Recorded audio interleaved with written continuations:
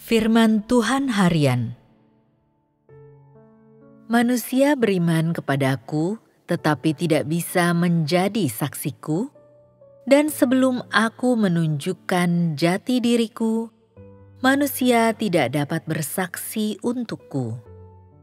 Manusia hanya melihat bahwa aku melebihi ciptaan dan semua orang kudus, dan melihat bahwa pekerjaan yang kulakukan tidak dapat dilakukan oleh manusia.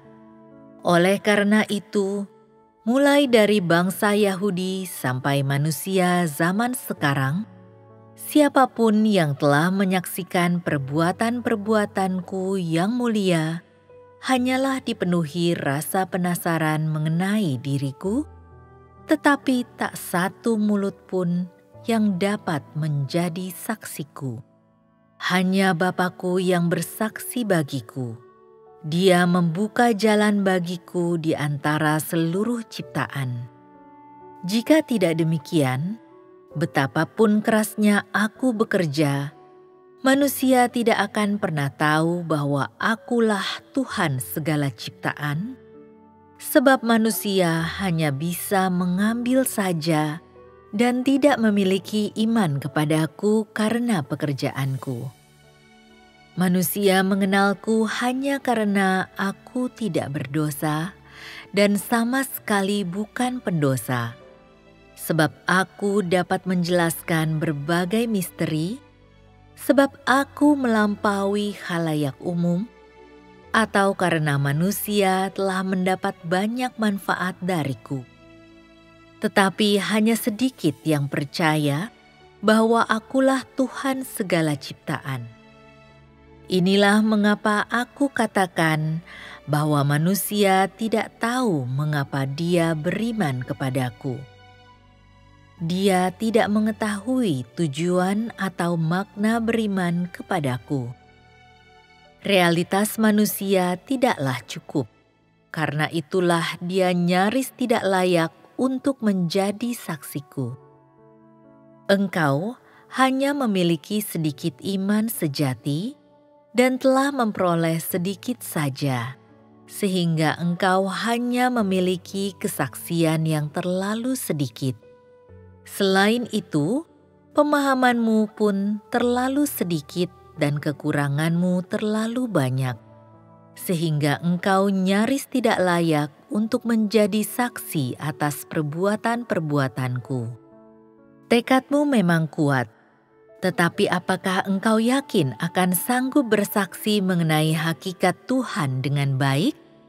Apa yang telah engkau alami dan saksikan melebihi yang telah dialami dan disaksikan para orang kudus dan nabi-nabi terdahulu?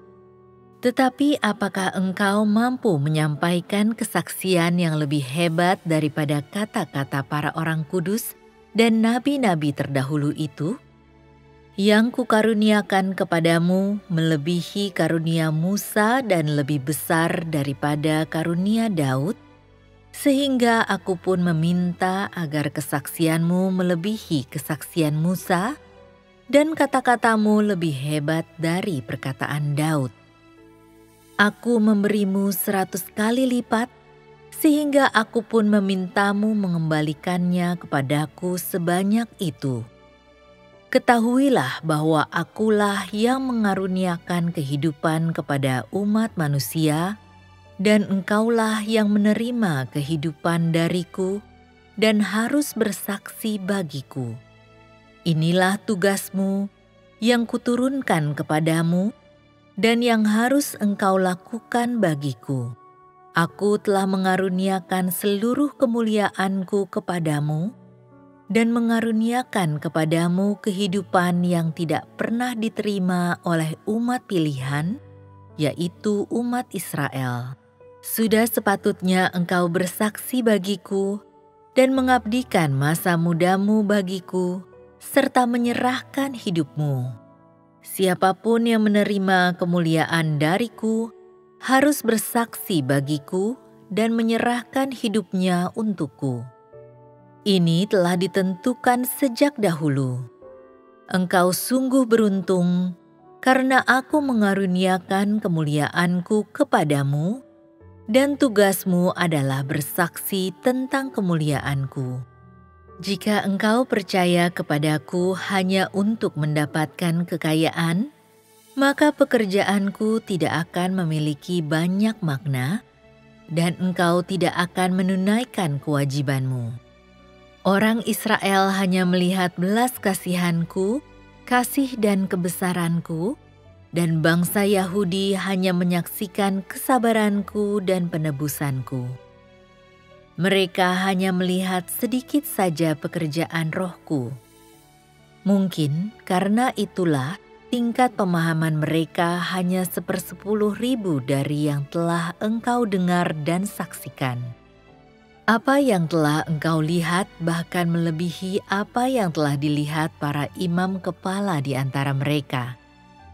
Sekarang ini, kebenaran yang engkau pahami melebihi pemahaman mereka.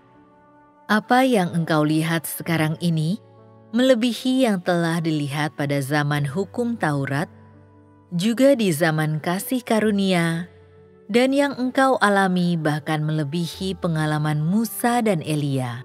Sebab apa yang dipahami orang Israel hanyalah hukum Yahweh, dan apa yang mereka lihat hanyalah penampakan bagian belakang Yahweh. Apa yang dipahami bangsa Yahudi hanyalah penebusan Yesus, yang mereka terima hanyalah kasih karunia yang diberikan oleh Yesus dan yang mereka lihat hanyalah gambaran Yesus di antara kaum Yahudi. Apa yang engkau lihat sekarang ini adalah kemuliaan Yahweh, penebusan Yesus, dan semua perbuatanku sekarang ini. Engkau juga telah mendengar perkataan rohku, memahami hikmatku, mengenal mukjizatku, dan belajar mengenai watakku Aku juga telah memberitahu engkau semua mengenai seluruh rencana pengelolaanku. Apa yang engkau lihat bukan semata Tuhan yang penuh kasih dan berbelas kasihan, tetapi pribadi yang dipenuhi oleh kebenaran. Engkau telah melihat pekerjaanku yang ajaib dan mengetahui bahwa aku dipenuhi dengan murka yang menyala-nyala dan keagungan.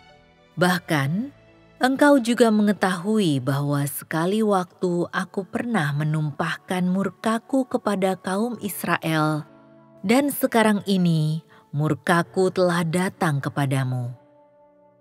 Engkau telah memahami lebih banyak misteriku di surga daripada Yesaya ataupun Yohanes. Engkau lebih mengetahui keelokan dan keagunganku daripada semua orang kudus di generasi sebelumnya. Apa yang telah engkau terima bukanlah sekadar kebenaranku, jalanku, hidupku, melainkan juga visi dan wahyu yang lebih hebat daripada visi dan wahyu Yohanes. Engkau telah memahami jauh lebih banyak misteri dan juga telah melihat wajah asliku engkau telah menerima lebih banyak penghakimanku dan mengetahui lebih jauh mengenai watak kebenaranku. Jadi, meskipun engkau dilahirkan di akhir zaman, pemahamanmu setara dengan orang yang lahir sebelumnya dan di masa yang lampau. Engkau juga telah mengalami apa yang terjadi sekarang ini dan yang telah dituntaskan oleh tanganku. Apa yang kuminta darimu tidaklah berlebihan, sebab aku telah memberimu terlalu banyak dan telah banyak yang engkau lihat daripadaku. Oleh karena itu, aku memintamu untuk menjadi saksiku, sebagaimana yang telah dilakukan oleh orang-orang kudus sebelumnya dan inilah satu-satunya keinginan hatiku.